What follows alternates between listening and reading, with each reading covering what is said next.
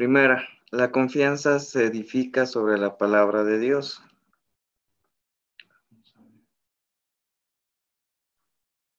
Eh. Es la voluntad de Dios que seamos sanados, salvos, liberados y prósperos y que tengamos paz y gozo en el Espíritu Santo.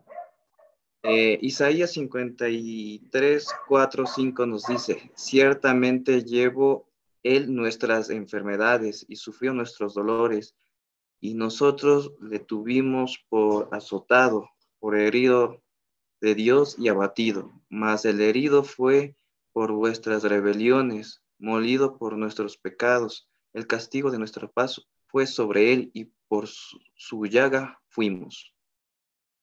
Como vimos antes, este punto de partida para recibir la sanidad es saber que Dios quiere, nos quiere sanos.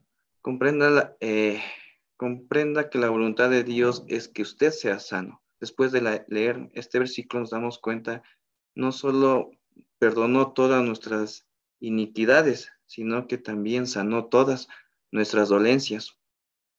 No dejó ni siquiera un dolor de cabeza. Eh, nos da, o sea, nos quiere bien en todos los sentidos, no solamente en, el sentido de, nuestros pecados, sino en el, sentido de la, salud, en todo Dios está, eh, nos quiere bien. El segundo, el segundo punto, si no creemos en la palabra, si no creemos en la palabra, es la voluntad de Dios, no, no tendremos respuesta en nuestras oraciones. Eh, aquí me, me cuestioné eh, si la palabra es buena, si la palabra es inspirada por Dios. Eh, y encontré toda la escritura es inspirada por Dios y es útil para enseñar, para redarguir, para corregir, para instruir justicia, fin que el hombre de Dios sea perfecto, enteramente preparado para toda buena obra. En este pasaje he dado énfasis a la palabra es, que se usa ahí, la, la cual, como probablemente sabemos, se usa para identificar, caracterizar o describir algo, por lo cual, de acuerdo al pasaje anterior, la Biblia o la escritura es inspirada por Dios, o como dice en el texto en griego, por el aliento de Dios. Esto significa que el autor de la Biblia es Dios, quien la inspiró, la produjo y por tanto la Biblia es la palabra de Dios. Aparte de eso, el pasaje anterior también dice que la Biblia es útil Es útil contando cuatro razones para ello. Eh, encontré también que la Biblia menciona 52 versículos eh, que en verdad la, eh, la, Biblia es la palabra de Dios o fue inspirada por Dios o es para nuestra guía que Dios nos deja. Unas de las cuales he elegido estas. Ciertamente la palabra de Dios es viva y poderosa y más cortante que cualquier espada de dos filos. Penetra hasta lo más profundo del alma y el espíritu, hasta la médula de los huesos, y juzga los pensamientos y las intenciones del corazón. Hebreos 4:12. Toda escritura es inspirada por Dios y útil para enseñar, para aprender, para corregir y para instruir en la justicia a fin que el siervo de Dios esté enteramente capacitado para toda buena obra. Esta de las 52 es la que más creí que creí que está justo en, lo, en, esta, en este punto. Ah, y el último punto es... Ah,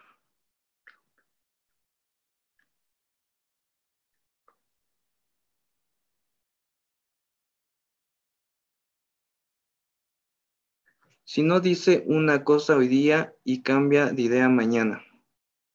Dios, ah, Dios no dice una cosa hoy día y cambia de idea mañana. Eh, estuve buscando y la verdad Dios no cambia de parecer eh, prácticamente, eh, ¿qué más? ¿Qué más? Nos, la historia también de, de Moisés o del pueblo de Israel cuando le sacó. Hay un pueblo necio donde, les, si no me equivoco, estuvo con 42 años paseando por el desierto. Entonces, Dios les prometió un, eh, una tierra donde emana miel y miel. Y entonces, cuando Dios, todas esas personas, cuando vieron que el agua se abrió, cuando vieron que unos milagros, todos esos milagros, ellos todavía eran rebeldes. Cualquier, cualquier eh, persona o, si hubiera renegado y dicho no. Pero Dios cumple su, su promesa. Él no cambia de parecer. Y, pero sí encontré algo en donde sí puede cambiar de parecer. Eh, Dios cambia de parecer con aquellos que honran como, eh, honran como se merece. Joel 1.14. Entréguese, entréguese al ayuno. Convoquen a una asamblea solemne Reúnan a los ancianos del pueblo en la casa del Señor y su Dios. Reúnan a todos los habitantes del país y clamen al Señor. Joel 2.12. Ahora bien, afirma el Señor, vuélvanse a mí de todo corazón con ayuno, llantos y lamentos. Rásguense en el corazón y no las vestiduras. Vuélvanse al Señor, su Dios, porque Él es bondadoso, compasivo, lento para la ira, lleno para el amor cambian de parecer y no castiga. Tal vez Dios considere y cambie de parecer y deje atrás de sí, de sí una bendición. Eh, las ofrendas de cereales y, liberaciones son del Señor su Dios. Entonces yo entendía aquí que para honrar o para perdonarnos, Dios tal vez sí cambia de, cambia de, de parecer sobre nosotros si es, eh, si es bueno, si es, si es para alabar a Dios, si, si puede cambiar de, parecer. Eso es mi intervención. Muchas gracias, Jorge. Estuvo muy bien.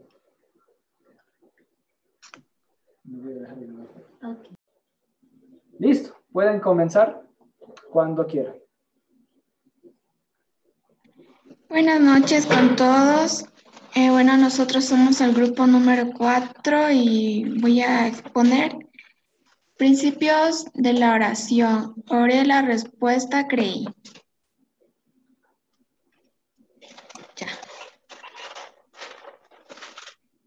Conforme a su voluntad, aprendimos en nuestra lección anterior que la voluntad de Dios está en su palabra, o sea, la Biblia.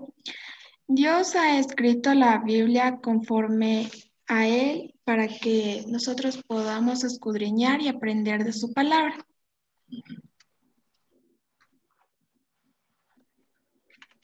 En primera de Juan 5:14 dice, y esta es la confianza que tenemos en Él, que si pedimos alguna cosa conforme a su voluntad, Él nos escucha. Que en la reflexión es que todo lo que pidamos creyendo en la fe, de acuerdo a la voluntad de Él, será en el tiempo que lo disponga. Por ejemplo, si nosotros pediríamos algún, algún capricho nuestro, Dios no lo va a hacer. Pero si pedimos eh, algo que él, que él crea que está conveniente, entonces sí lo hará.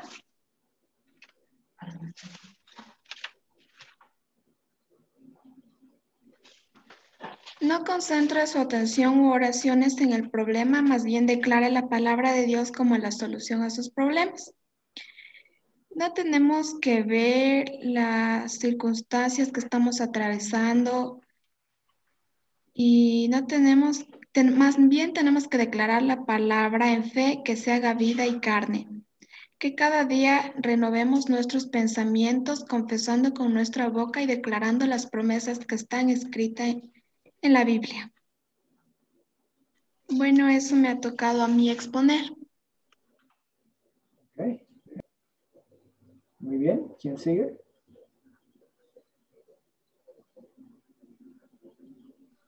Sigue el chico que todavía no Sigue el Denny. ¿Quién seguiría después de Denny? Yo, yo también me puedes dar, permitir compartir la pantalla, por favor. Ok, ya te doy permiso. Prueba ahí, por favor, si es que ya puedes compartir.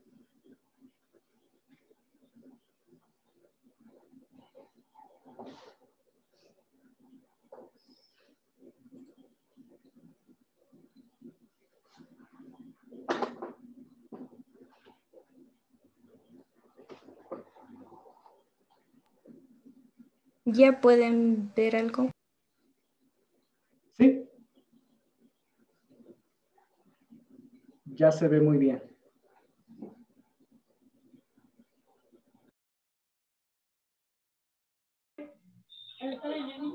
¿Qué pasó? ¿Qué pasó?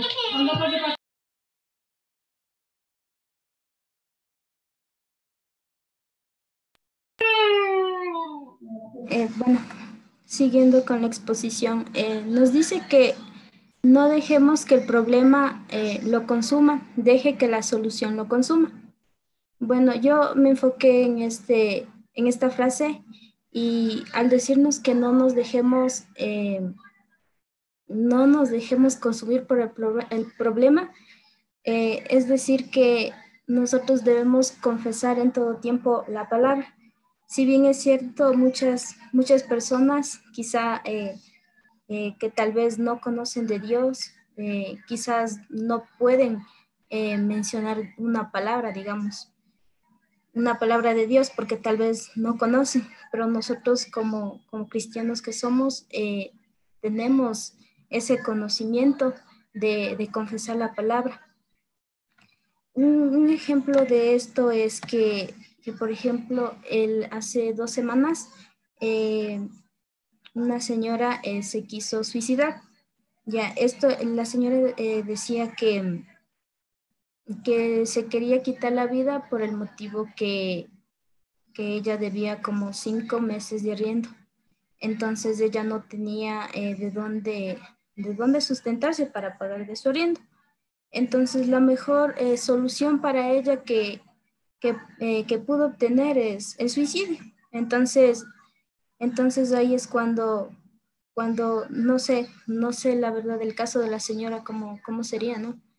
Eh, posiblemente tenía Dios, conocía de Dios, pero no conocía de su palabra y, y ello no le ayudó a, confesar la palabra, a sustentarse en la palabra.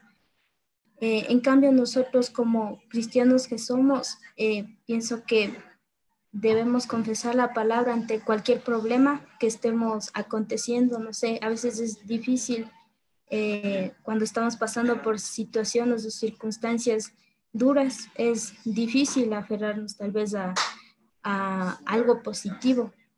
Eh, sin embargo, eh, siempre es bueno confesar la palabra y una de, de estas palabras que, que siempre me, me, me, se ha hecho vida en mí es Filipenses 4:13, la cual, la cual dice, todo lo, lo puedo en Cristo que me fortalece. Entonces esta palabra se ha hecho vida en mí porque a pesar de, de, la dura situación que muchas veces he pasado, quizá en, en, en la universidad o aquí en, en casa, o sea, siempre he tenido eh, esta, esta, esta palabra que me ha fortalecido y que me levanta día a día. También nos dice que necesitamos pasar tiempo confesando la palabra de Dios, que es la solución en lugar de la palabra de Satanás, que es el problema. Si bien es cierto, eh, Satanás quiere acabar con nuestras vidas, y muchas de las veces eh, nosotros aún conociendo eh, de la palabra no somos capaces de confesarla. Y, pero claramente dice aquí que siempre, o sea, en todo tiempo debemos confesar la palabra y, y, cubrirnos de, de toda esta palabra. Y no dar paso al enemigo, porque muchas veces el enemigo quiere principalmente entra por nuestra mente y, nos quiere hacer eh, pensar cosas negativas, eh, influye tanto el temor en nuestras vidas. Una palabra que, que dice Efesios 6:13, por lo tanto pónganse todas las piezas de la armadura de Dios para poder resistir al enemigo en, en el tiempo del mal. Así pues, así después de la batalla todavía seguirán de pie firmes. Sí, esto también es algo muy, muy verídico, el cubrirnos con la armadura de Dios, cubrirnos en, todo tiempo, en toda circunstancia, aún mucho más em, eh, cuando estamos pasando por situaciones difíciles, cubrirnos con, con, la, con la armadura que es la coraza de la justicia, que nos cubre de los dardos del enemigo, la espada de la palabra, el escudo de la fe, el yelmo de la salvación, el calzado del resto del evangelio, el cinto de la verdad, salirnos cubiertos con todo esto para y confesar, confesar la palabra de Dios para que el enemigo no nos pueda tocar. Eh, también nos dice que, que cuando reprendemos la enfermedad, la pobreza, no le estamos diciendo a Dios qué hacer, sino que estamos haciendo lo que Dios nos dice que hagamos, confesar su palabra. Es verdad, muchas veces, eh, muchas veces queremos hacer las cosas a nuestra voluntad, queremos, eh, que cuando, cuando oramos, por ejemplo, decimos muchas veces, quizá nosotros le estamos diciendo a Dios lo que tiene que hacer, pero al confesar su palabra, nosotros estamos confesando algo que Dios nos dice que hagamos. Entonces, a eso se refiere con, con esto. Dice que si confiesas con tu boca que Jesús es el Señor y crees en tu corazón que Dios lo levantó de entre los muertos, entonces serás salvo. Si nosotros confesamos en el nombre de Jesús que, que queremos reprender alguna enfermedad, Él lo hará, siempre y cuando eh, lo hagamos en, la voluntad de Él, claro está. También nos dice que Él es quien perdona todas tus iniquidades, Él es quien sana todas nuestras dolencias. Entonces, al confesar esa palabra, una palabra de sanidad, esa palabra nos va a vivificar y nos va a sanar de toda enfermedad, siempre orando en el nombre de Jesús. Eh, también nos dice que la palabra cristiano viene de la misma raíz de la que viene confesor, es decir, que debemos confesar su palabra. Como ya anteriormente había dicho, el ser cristianos eh, significa que en todo tiempo nosotros tenemos que estar confesando la palabra, ya que eh, esta confesión de la palabra nos trae salud, nos trae vida, nos trae fortaleza a nuestras vidas, eh, nos libera de toda opresión, de toda depresión, si, si hacemos eh, en todo tiempo.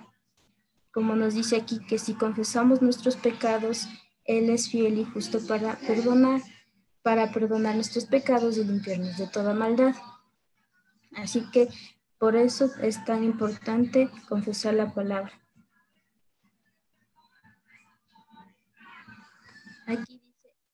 Ejemplos de las escrituras que nos dicen que confesemos la palabra. Así será mi palabra que sale de mi boca, no volverá a mi vacía, sino que hará lo que yo quiero y será prosperada en, aquella, en aquello para la que la envié.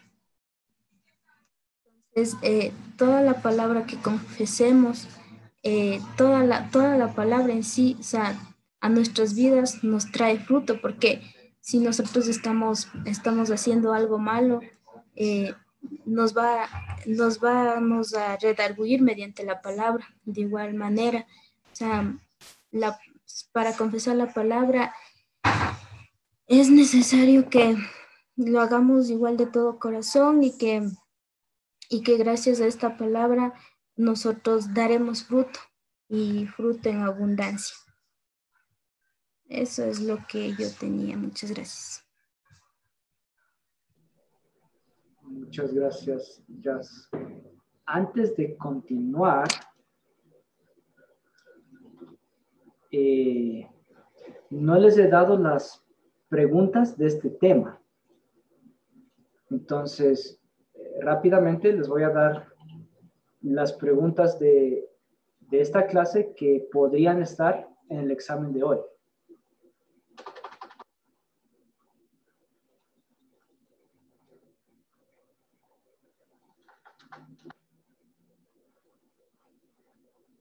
Y de ahí continuamos con la siguiente persona. ¿Ok? Ahí creo que se ve bastante bien.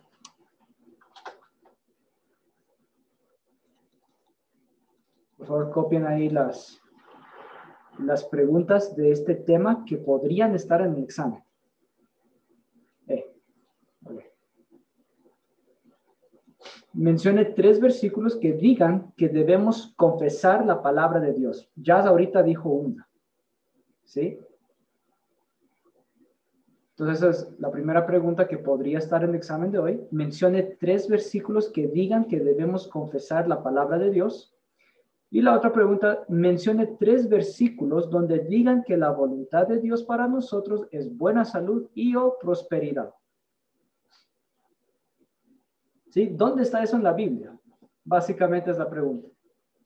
Que diga que la voluntad de Dios para nuestras vidas es una buena salud y prosperidad. Prosperidad entendiéndose más allá de, de dinero, ¿sí? En el sentido holístico de la palabra prosperidad. Que la voluntad de Dios para nosotros es eso, el bienestar. ¿Dónde está eso en la Biblia? Es la pregunta. Tres versículos que diga eso. Y tres versículos que digan que debemos confesar la palabra de Dios. Perdón, se movió que digan que debemos confesar la palabra de Dios, ¿ok? Si es que acaso la Biblia dice que debemos confesar la palabra de Dios. ¿Están claras las preguntas?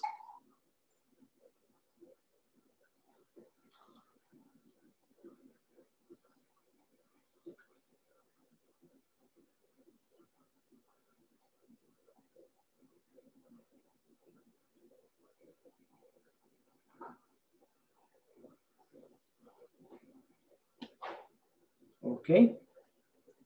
¿Estamos listos para continuar?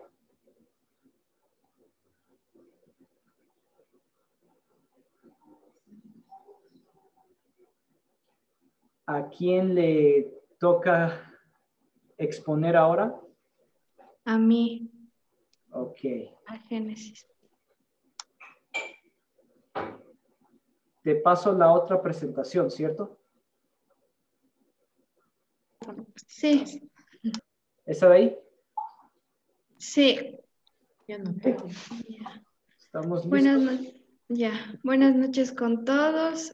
Eh, principios de la oración. Oré, la respuesta creí.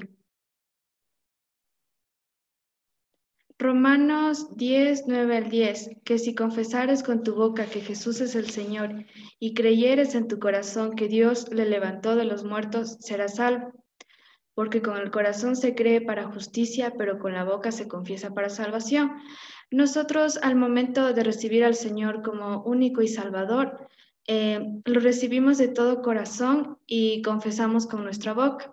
Asimismo, cuando nos bautizamos, eh, hacemos la misma práctica porque de esa manera Dios nos toma como sus hijos y nos anota en el libro de la vida.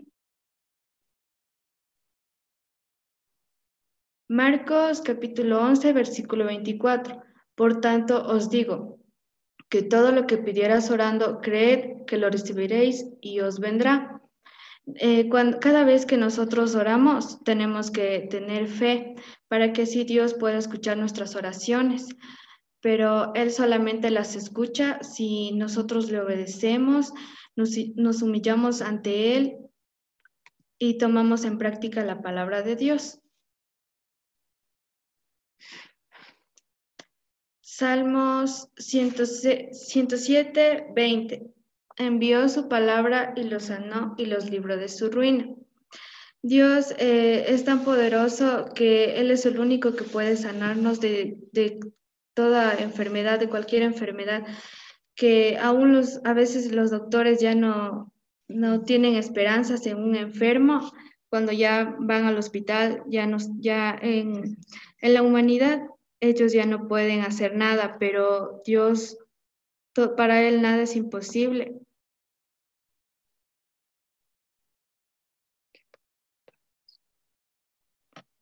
Siguiente. Romanos 10, 10. Bueno, este eh, se repite al, al versículo principal.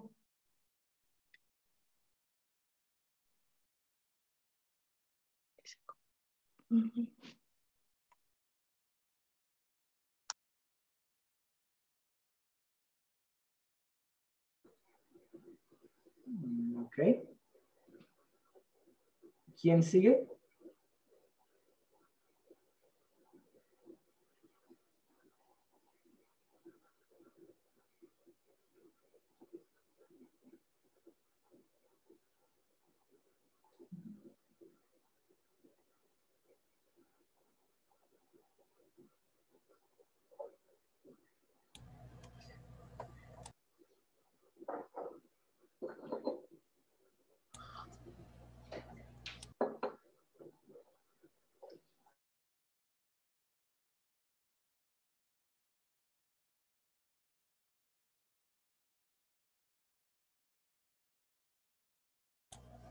Buenas noches. Buenas noches.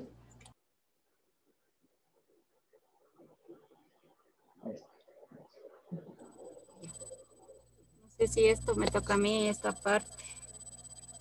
La palabra de... No. La fe en la palabra obtiene resultados. En realidad, sin fe, en Hebreos 6, 11, 6, en realidad, sin fe es imposible agradar a Dios, ya que cualquier cosa que se acerca a Dios tiene que creer que existe y que recompensa a quien lo busca. Bueno, yo pude reflexionar que como cristianos nuestra fe está basada en la certeza de Dios. El objetivo de nuestra fe hará lo que esperamos a su manera y en su tiempo.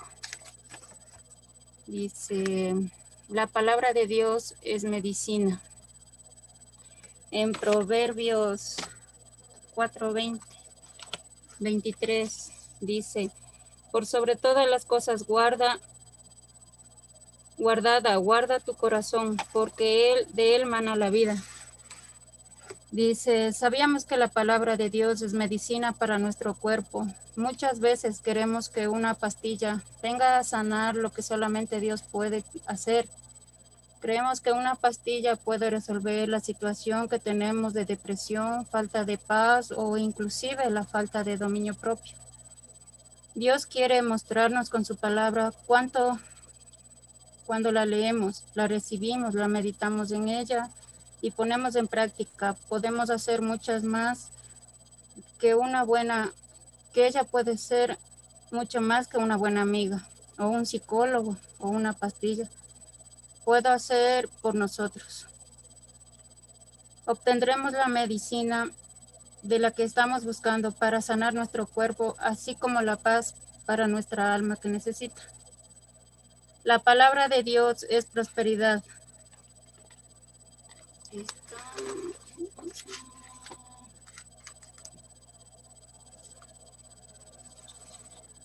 en Deuteronomio 8:18. Sin acuerdo, si no acuérdate de Jehová tu Dios, porque Él te da el poder para hacer las riquezas, a fin de confirmar su pacto que juró con tus padres, como en este día. Prosperar es cobrar fuerza, imponerse,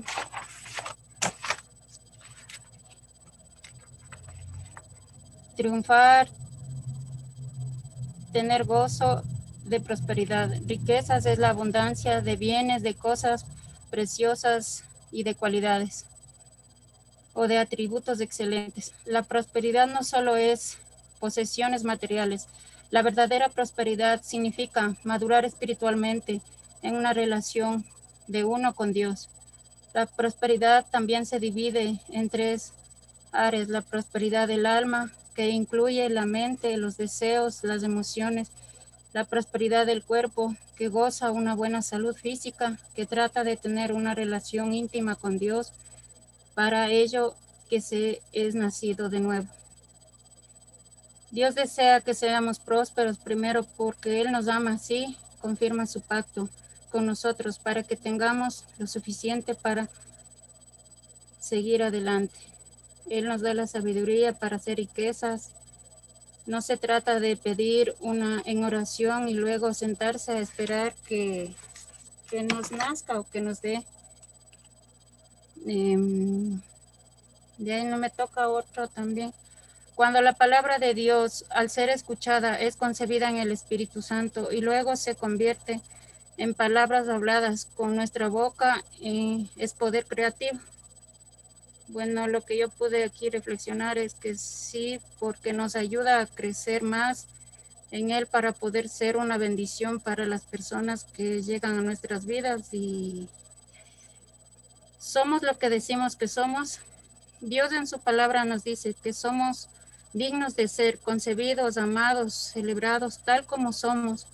Jesús dice que nos ama a pesar de que somos pecadores y no tenemos que ocultar quiénes somos de Él. Muchos también dicen que está con nosotros para ayudarnos a ser más como Él, simplemente porque somos pecadores, sino porque Dios nos ama y quiere cosas buenas para nosotros. La bondad y no es un, no es un castigo, es una norma imposible que Dios nos da, nos establece para nosotros, es una promesa de amor. La aceptación a medida de que podemos acercarnos más a Jesús. Eh, recibimos victoria o derrota. Cuando hablamos de la victoria, nos referimos a una vida sin tentaciones. No nos referimos a una vida sin tentaciones, a una vida de perfección, sin pecado. No es imposible que una persona tenga tal convenio con el Señor como para poder decir, yo no tengo pecado o nunca más voy a pecar. La vida victoriosa es una vida de paz, de gozo en el Señor, en una vida de comunión constante con el Señor. Las cosas que queremos ver en cuanto a la vida de victoria es que es un regalo de Dios, así como la vida eterna es un regalo de Dios. Debemos andar siempre en victoria. Y ahí hay un versículo de la Biblia donde dice, más gracias sean dadas a Dios que nos da la victoria por medio de nuestro Señor Jesucristo. De ahí algo que entendí también de la derrota es que cuando fallemos nunca debemos permanecer derrotados. Debemos reconocer nuestros pecados para poder ser restaurados inmediatamente a un estado de victoria, confesando nuestros pecados y reconociendo que Jesucristo es nuestro Señor y nuestro Salvador es todo lo que pude eh, eh, hallar, comparar o leer. No puedo decir nada más. Eso es todo. Gracias. Muchas gracias, Cristina. Estuvo muy bien. Eh, yo creo que con eso hemos terminado el tema número 10. En este punto, deseo preguntarles si ya podemos terminar esto.